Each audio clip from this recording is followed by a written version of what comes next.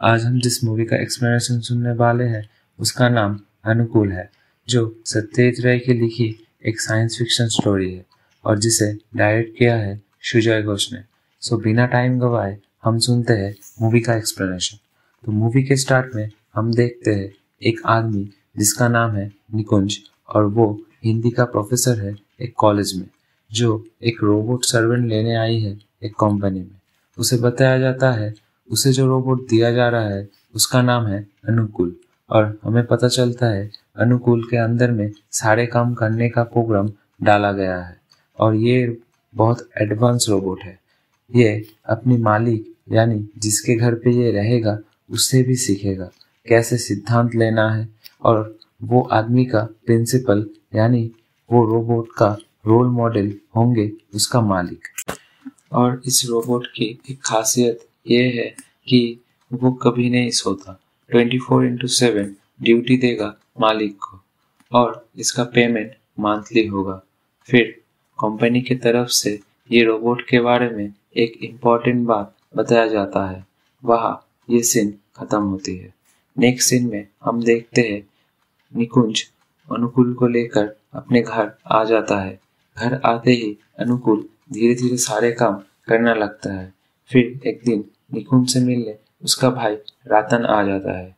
वह रतन को पहले तो अनुकूल जो कि एक रोबोट है, पता नहीं चलता, पर बाद में जब पता चलता है, वो बहुत गुस्सा करता है। फिर रतन गुस्सा होके निकुंज से कहता है, तुम्हें पता है भैया, तुम्हारी खुद का भाई का नौकरी चली गई है, ऐसे ही एक रोबोट की वजह से, और तुम इन लोगों को काम दे रहे हो। तभी निकुंज रतन से कहता है, इससे अनुकूल का कोई लेना देना नहीं है। तभी रतन बहुत भला बुरा कहने लगता है अनुकूल को और उसको आयरन से मारता है। फिर हम देखते हैं अनुकूल को ठीक करने के लिए कंपनी से मैडम आता है और हमें पता चलता है वो इम्पोर्टेंट बात कि हमें इस तरह से रोबोट के साथ बुरा व्यवहार नहीं करना चाहिए और हमें रोबोट को मारना नहीं चाहिए। अगर ये हम करते हैं तो अनुकूल को पूरा हक है कि वो मारने वाले को हाई वोल्टेज इलेक्ट्रिक शॉक देने का।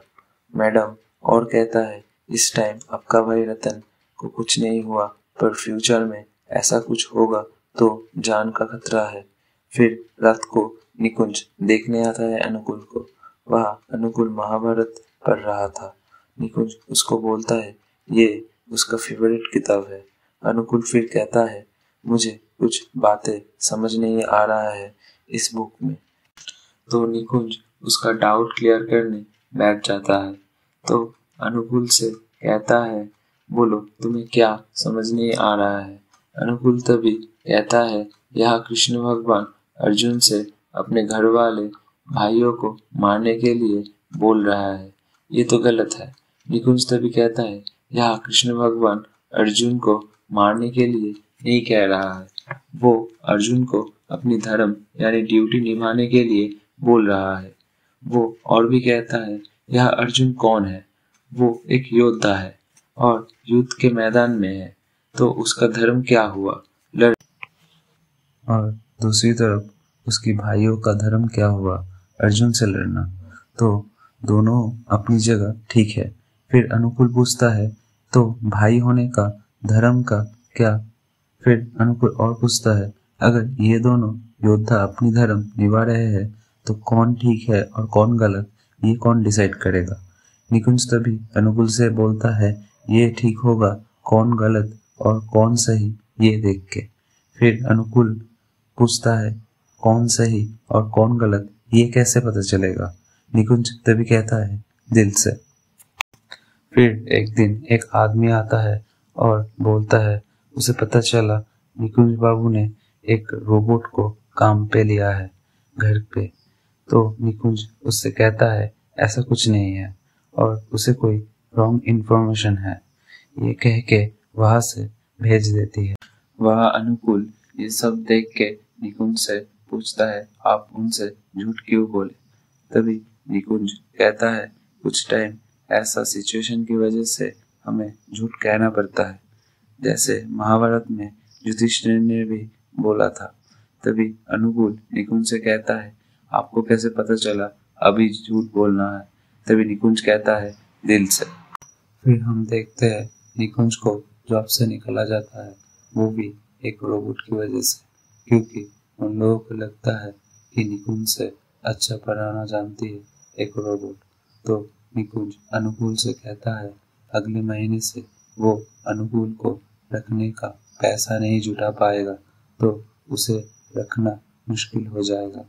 फिर हम देखते हैं रतन, जो कि दारू पी के सुबह सुबह वह आता है और एक गुड न्यूज़ और एक बैड न्यूज़ के बारे में बोलता है।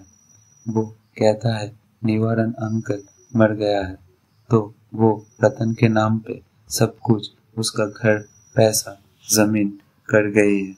और ये है रतन का गुड न्यूज़ फिर वो निकुंज से ये कहता है, निवारण अंकल ने उसके लिए कुछ नहीं छोड़ के गया।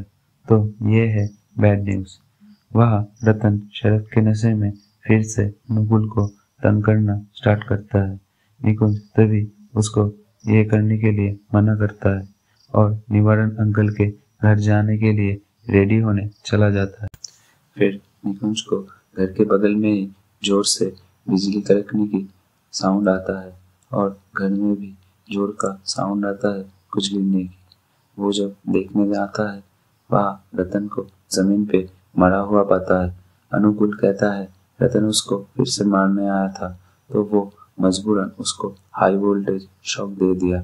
फिर अनुकूल ये भी कहता है, जब वो उसको शॉक दिया था, तभी बाहर ज़ोर का बिजली गिरी थी। वो इनडायरेक्टली निकुंज को कहता है, क्या झूठ बोलना होगा? फिर हम पुलिस और डॉक्टर को देखते हैं। बॉडी का टेस्ट करते हुए डॉक्टर बोलता है, ये मैसिव हार्ट अटैक है। शायद बिजली से डर गया था। फिर हम देखते हैं, एक एडवोकेट मिलने आता है निकुंज से और कहता है निवरन अंकल का सारा संपत्ति अभी रतन के मर जाने के बाद वो ही हकदार है। यानी सब कुछ अभी निकुंज को मिलने वाला था। क्योंकि वो दोनों ही थे निवारण अंकल का वारिस। फिर निकुंज कहता है एडवोकेट को, वो इतना यकीन से ये कैसे कह रहा है? तब एडवोकेट कहता है, ये वो नहीं, कानून कह रहा है। फिर उसे पता चलता है निवारण अंकल का सारा संपत्ति का टोटल अमाउंट साढ़े ग्यारह करोड़ है। फिर अनुकूल और निकुंज दोनों एक दूसरे की तरफ़ देख के मन ही मन खुश होते हैं। यहाँ ये मूवी खत्म होती है। अगर ये मूवी आप देखना चाहते हैं तो इजीली यूट्यूब पे अवेलेबल है। तो एक्सप्लेनेशन अच्छी लगी तो लाइक कमेंट ज़रूर करना और शेयर करना अपने फ्रेंड्स के साथ। तो हम मिलते हैं आपसे एक नई एक्सप्लेनेशन के साथ।